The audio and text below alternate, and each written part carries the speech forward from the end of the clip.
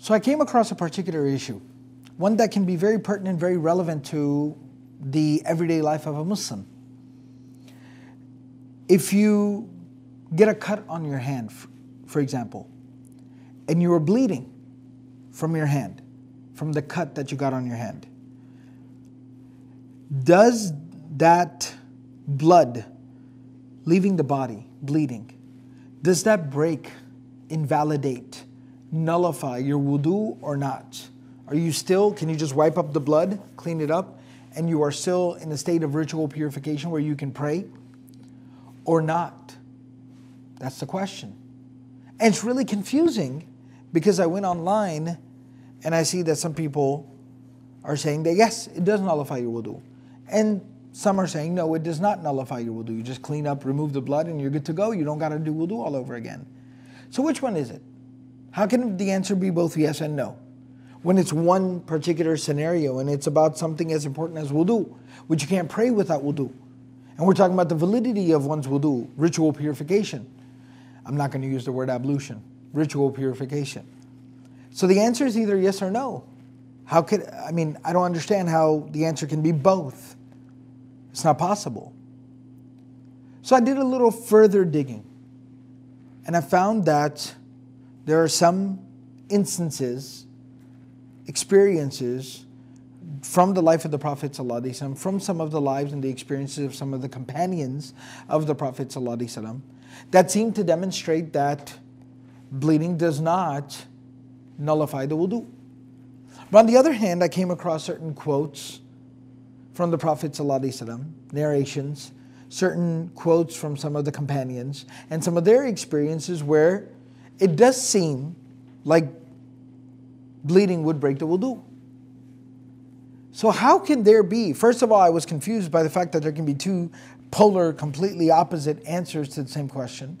But how can there even be conflicting evidence on one particular issue? It's confusing. How do I make sense of all of this? How do I know what to trust, who to trust, what to do, what not to do? Well, there's a process to all of this that we have to understand. First and foremost, when we take these particular narrations and events and incidents we first have to classify them and categorize them. Are they direct statements of the Prophet or direct actions of the Prophet or are they statements and actions of some of the companions? We have to differentiate between the two, categorize them accordingly. Number two, once we've kind of put everything in its proper bin and box, then we have to evaluate and scrutinize is it authentically narrated? Does it reach us authentically, properly? Or are there some discrepancies in it reaching us? And once it, we finally evaluate whether it reaches us authentically or not, then we have to figure out the context in which each statement is being said or each action is occurring. And then we have to place them within a framework of principles that will help us process this information to understand are they necessarily conflicting? Or are they just speaking about different circumstances?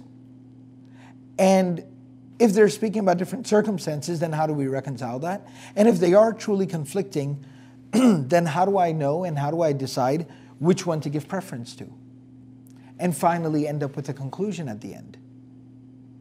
So, this is the process that we call usulul fiqh, the principles of Islamic jurisprudence. Big fancy words, but basically the mechanism, the machinery that allows us to extrapolate, to derive rulings from the sacred text, the prophetic tradition, and the actions and implementations of the companions of the Prophet ﷺ, how we can process all of that and arrive at conclusions and deduce an understanding. Now, the lack of that understanding and that knowledge is what causes a lot of people confusion and frustration. So, we here at Qalam decided to present a solution to that particular problem an introduction and an understanding and an engagement with the structure and the rubric of this particular study and field in science. And that solution is called the faith intensive. taught and led by Ustad Abdurrahman Murphy.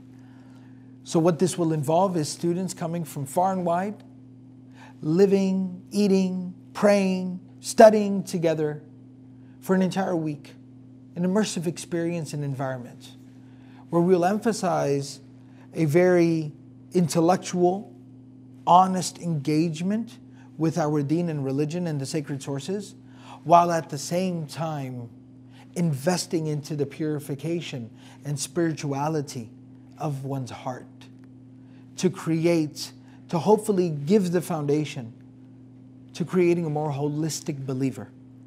So, inshallah, this July, come and join us for the Faith Intensive. We look forward to seeing everyone here in Dallas. Jazakumullahu khairan. والسلام عليكم ورحمة الله وبركاته.